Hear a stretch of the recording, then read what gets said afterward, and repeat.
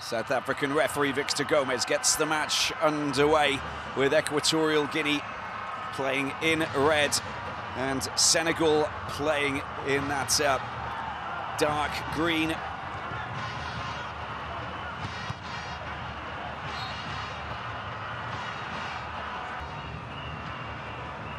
Just 29 years of age. It's been a long stint playing in the West Country in England for Bristol City. Four years, in fact. Bit of a hero. His uh, Ivan Edu puts it on his left foot. There's the shot. Tries to wrap that left foot around the ball and get his thunderbolts heading towards Mendy. And this is the. He's such a dangerous player. A wonderful skill set, and he just. He's a tricky player to mark, basically. This is a chance. It's uh, Gonna get with a shot. Oh, that's gone wide, but uh, nicely fired in. And uh, you're just gonna test the goalkeeper. And the wall was blocking Jesus Owono's way. Lofted over about a metre and a half wide of the target, but the danger is there, the PSG midfielder.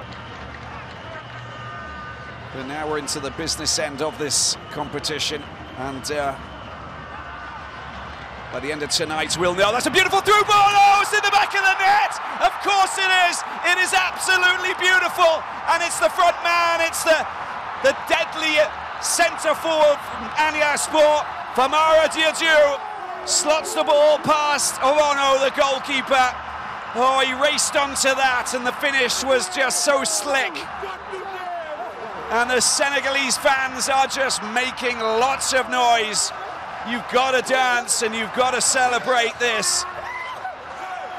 A magical moment for Aliou Cissé's men. Let's just have a look at this again.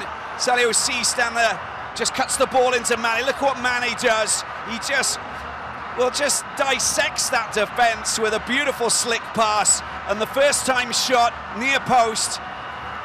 Owono really didn't have a chance. It was hit with so much velocity. It just a, a very acute angle, but how about that for a strike from the, the Turkey-based player?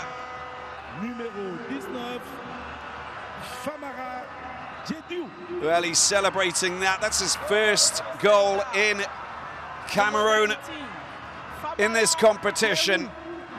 And, uh, well, it comes at a very good time. 21 matches played for the Lions of Teranga and 10 goals scored now.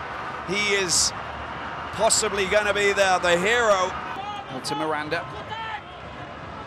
Change of flags. There's uh, not too many options, not too much movement off the ball. Something that he needs to work on. They do have those players who are capable of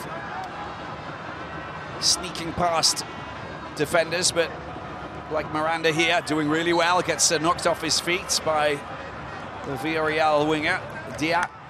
And it's going to be a free kick. Good acceleration there. And a chance as they push forward. Equatorial Guinea has been teed up. That's a really good ball. It's the shot gone in? It's gone in. They found the back of the net. Look at that. And it's fair and square. We don't have to go to a penalty VAR. No, no, no. They've got their goal. They found it. It's the front man. It's Jannick Buyla. Buyla. He's scored the goal, equaliser. Remarkable scenario here. And Juan Micha's men find themselves with an equaliser in this quarter-final showdown here at the Ahmadou Ahidjo Stadium in Yaoundé. There he is.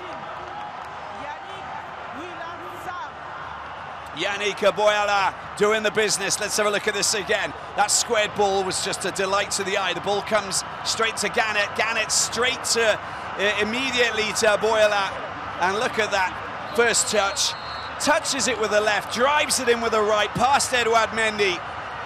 That is clinical. That is sublime. That comes straight out of Equatorial Guinea. Bouna Sarr on the other side, the Bayern Munich man. Esteban racing over to try and stop the short one. It comes to the front post. It comes off the chest of uh, Emilio Nsue. Another header this, this time. There's a big header into the penalty box. Anybody there? It's been flicked past the goalkeeper. It's easy, isn't it? Cheikhou Kouyate's only just come on. Look at that. And that is a very important goal for Senegal. And look at the tactical change from Aliou Cisse. He looks across, knowing that this man has made a difference already. Kouyaté finding the back of the net, having barely been on the pitch for two minutes, is really just a, a work of magic. Aliou Cisse has really sorted things out. Let's have a look at this again. Well, he's just waiting, waiting for it to come back in. Not, not being marked, he's left on his own. And look at that, he gets behind the two defenders. It's a poor clearance. And all he needs to do is just sneak in and there's the little touch, the outside of the right boot. Look at that, the communication there between the two defenders. Carlos Akapo Saul Coco was, was just non-existent. If it had been, they would have cleared that, but they also need the goalkeeper to make the call of Owono. And that has just allowed Kouyaté to come in. And there's your goal. There's your goal. Needs to try and find the back of the net for Equatorial Guinea.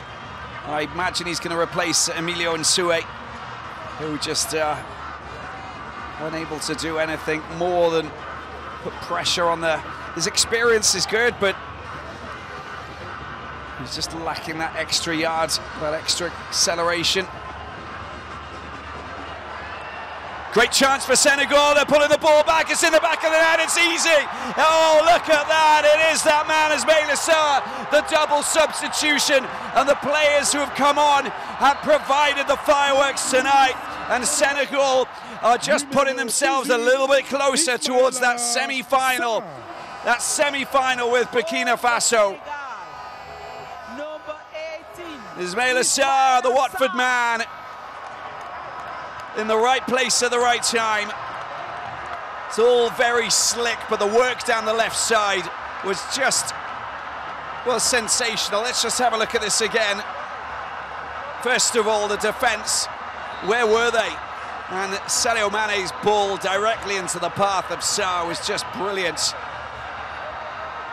And that's what he does so well, just getting behind the defence it's just top notch, it really is.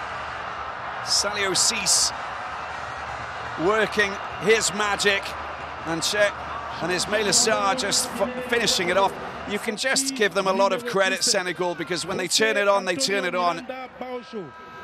Entrée numéro 20, Santiago Bocari Eneme.